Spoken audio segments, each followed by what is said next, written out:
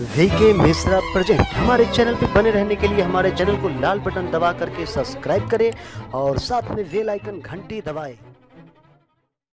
जय श्री राधे कृष्ण आप सभी का हमारे YouTube चैनल पे बहुत बहुत स्वागत है। आज मैं आपको शनि की साढ़े साथी से बचने के कुछ उपाय के बारे में आपको बताने जा रहा हूँ। शनिदेव से ना डरे। शनिदेव न्याय के देवता और कर्म फलदाता दंडनायक भी कहे गए हैं। तीस साल बाद शनि के मकर राशि में प्रवेश के साथ ही कुंभ राशि वालों की साढ़े साथी शुरू हो जाएगी। ऐसे में शनि देव की तिरछी दृष्टि से बचने के लिए आपको शनिवार के दिन कुछ उपाय करने चाहिए। जैसे कि शनिवार के दिन सूर्योदय से पहले उठे और नित्य क्रियाओं से निवृत्त होकर स्नान करें, उसके बाद शुद्ध वस्त्र धारण करें। फिर एक पात्र में जल लेकर उस जल में थोड़ा सा तिल डालें और उस जल को पीपर के जड़ में जाकर के डालें। ओम शं शनश्चराय नमः। इस मंत्र का जप करते हुए। यदि सूर्यास्त के समय पीपर के पेड़ के पास दिए जलाए जाए तो शनि देव की कृपा दृष्टि होने लगती है। वो प्रसन्न होते हैं। पेड़ किसी मंदिर में लगा हो, अगर ऐसे पेड़ के सूर्यास्त होते समय दिए जलाए जाएँ तो शनि के महादोष समाप्त होने लगते हैं।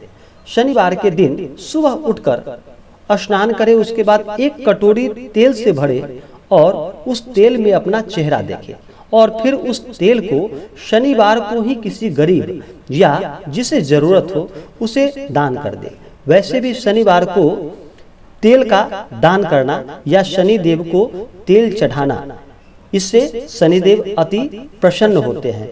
यह शनिदेव को प्रसन्न करने के अचूक उपाय बताए गए हैं।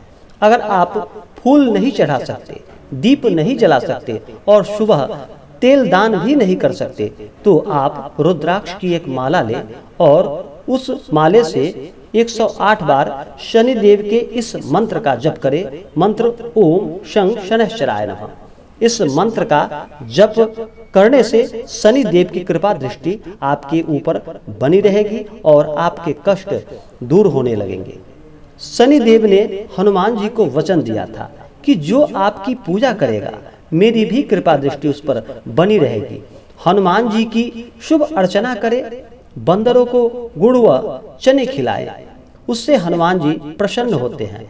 हनुमान चालीसा का नियमित पाठ करें। इससे हनुमान जी की कृपा और शनि देव की भी कृपा दृष्टि बनी रहेगी।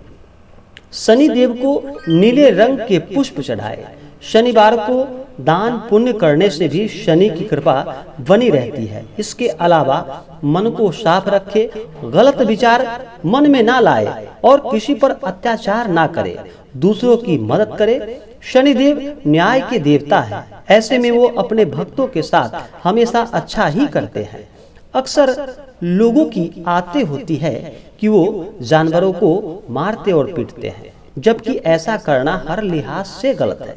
जानवरों को प्रताड़ित ना करे, क्योंकि ये करना शास्त्रों में भी पाप माना गया है। ऐसा लोगों को शनिदेव कभी भी उसको माफ़ नहीं करते। इसलिए शनिवार के दिन काले कुत्ते को रोटी खिलाए, काली गाय की पूजा करे, काली चीटी को आटा डाले, काली मछली को आटा की गोली, जैसे शनि देव को प्रसन्न करने के उपाय बताए गए हैं। तो यह जानकारी आपको कैसा लगा, हमें कमेंट करके ज़रूर बताएँ। हमारे चैनल पे अगर आप नए हो तो हमारे चैनल को लाल बटन दबा करके सब्सक्राइब करें, साथ में बेल आइकन घंटी दबाएँ, लाइक करें, शेयर करें, सुखी रहे और स्वस्थ रहे। जय श्री राधे कृष्ण, धन्यवाद।